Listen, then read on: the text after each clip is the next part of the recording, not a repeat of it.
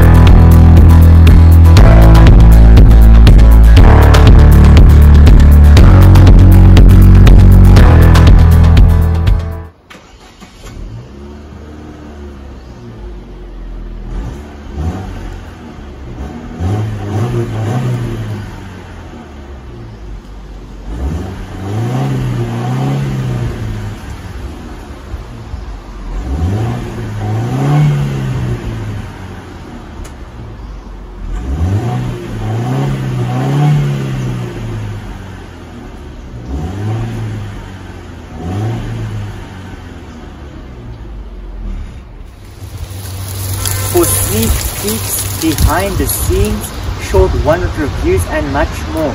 Remember to go follow my new Instagram and TikTok account. I promise you will not regret it. So let's move on to the front of this car.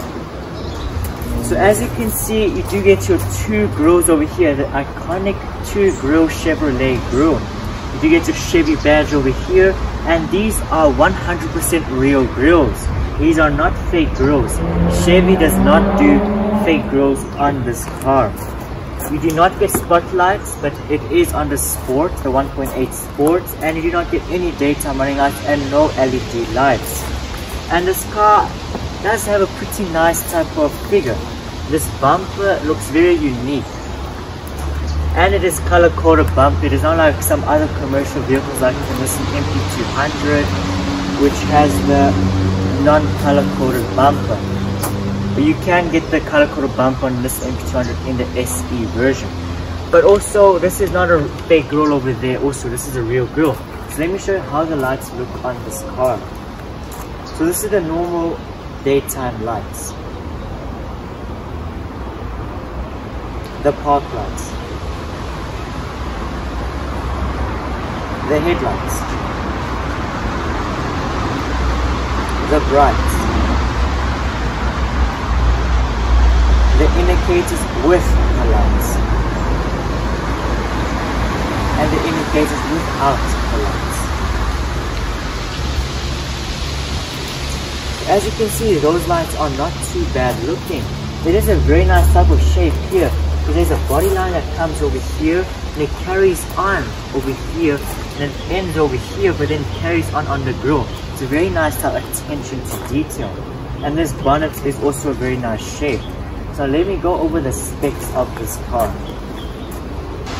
So let's go over the specs of this 2016 Chevy Utility.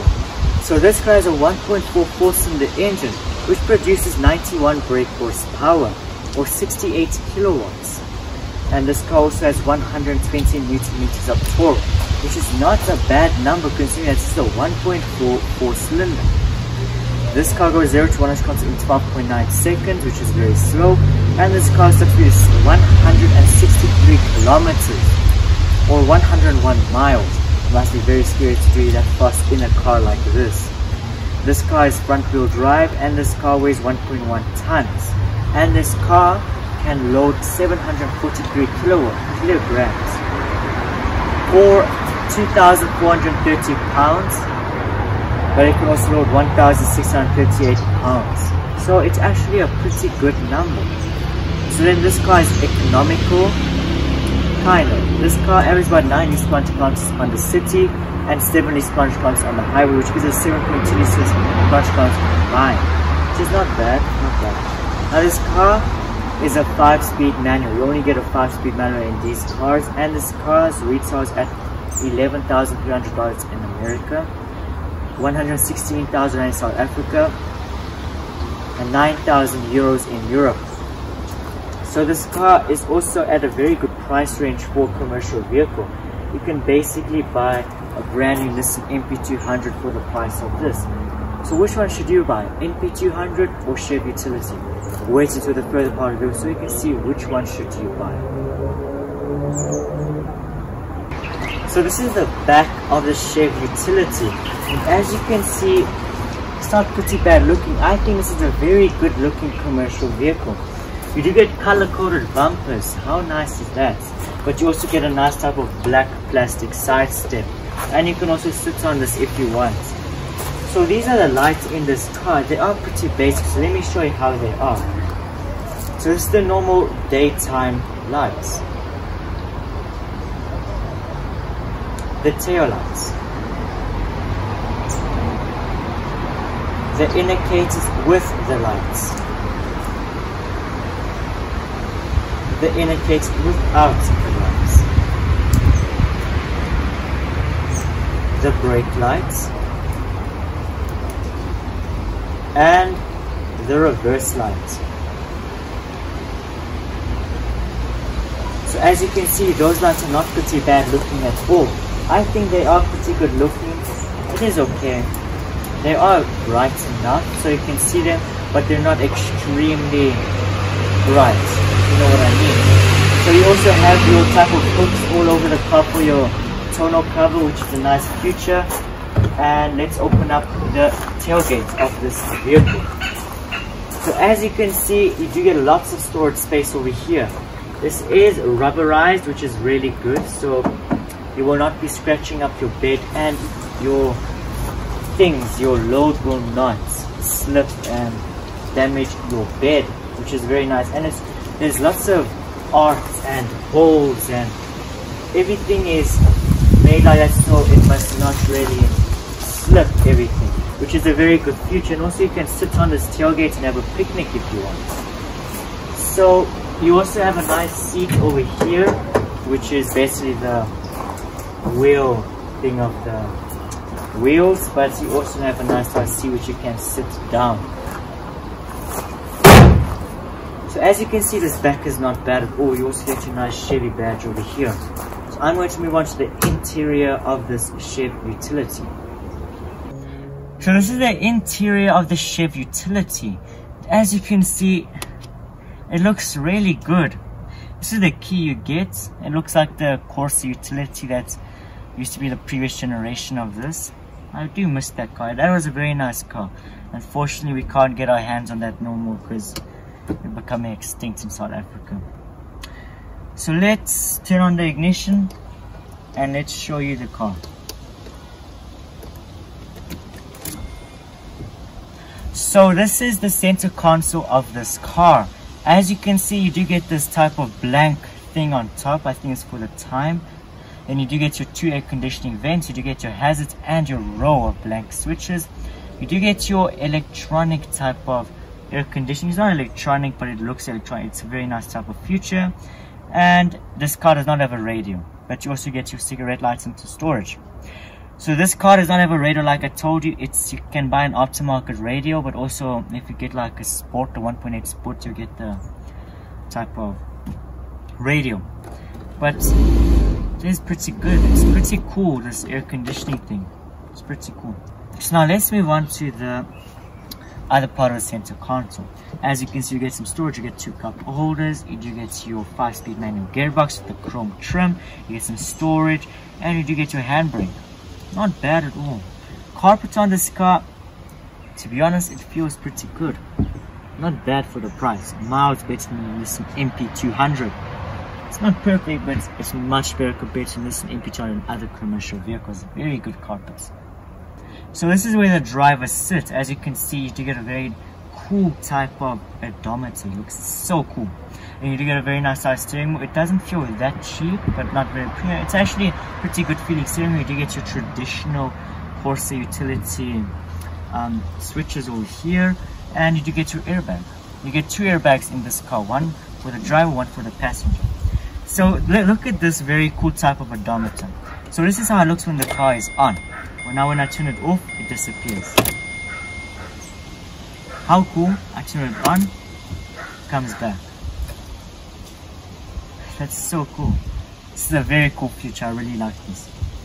So then this is the other part of the driver, you do get your air conditioning vents over here, you get like a plastic chrome trim. You do get your you do get your um your your light switches, it looks like from the Astra or the Corsa. And yeah, it's not bad. You also get automatic lights in the 1.8 Sports. So then over here, this is the door panel of this car. As you can see, it's metal plus. You get your manual mirrors, you get your chrome type of handle, you get some storage here and your manual mirrors, your manual windows, and some storage. Not bad. The 1.8 Sport also has like the nice automatic mirrors and automatic windows. Not bad, not bad Chevy. So this is where the other part of the passenger sits. As you can see, you get, he does get the chrome type of trim with the airbag ticks and you do get a cubbyhole and your service books. So interior quality, it's not great. It's You do get a plastic everywhere as you can see, but it's a commercial vehicle. You can't expect to have perfect materials, but just look at this. Shows the build quality. I can literally take off the headline. Shows the quality of this thing. But it's not bad, eh? This is the hoot of this car. Doesn't sound bad. So now let us move on to the side of this car. So this is the side of this Chevy utility. And as you can see out of the first look, you have a step over here. How cool is this? So you can step on here and just have a ride. So you do get your 14 inch steelies.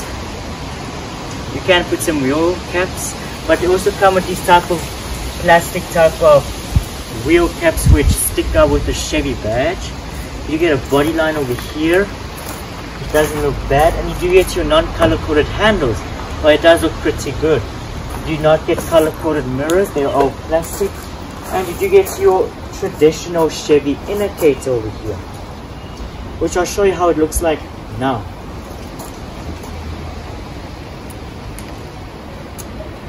So as you can see, that does not look bad at all.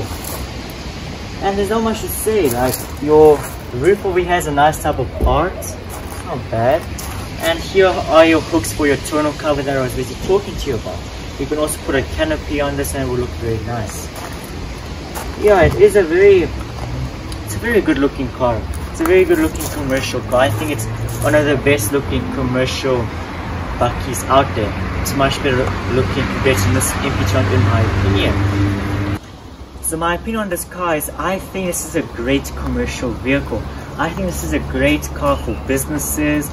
You can do deliveries with this, you can pick up things, you can do lots of things with this car and it is comfortable. Only thing that's not nice, this car does not have ABS. But you, it only comes in the sports and in the safety package. This one does not have ABS unfortunately. But if you know how to drive, I'm not sure you would really need that if you're a good driver. So I'm going to put up the Yaskawa score on the screen so you can see the scores that I gave this car. So for the daily scores, I gave this car 3 for futures, 5 for comfort, 2 for quality, 9 for practicality and 8 for value. It's been a total of 27 out of 50 for the daily scores. Now for the weekend scores, I gave this car 6 for styling, 4 for acceleration, 5 for handling, 4 for fun factor and 3 for cool factor, which been a total of 22 out of 50 for the weekend scores, which been a grand total of 49 out of 100, much better score compared to the Nissan NP200. So as I said to this part of video, thank you very much for watching. I hope you enjoyed this video. If you did, remember to smash the subscribe button, like button, turn on notifications. I promise you will not regret it. So what do you think of these reviews? Do you like them?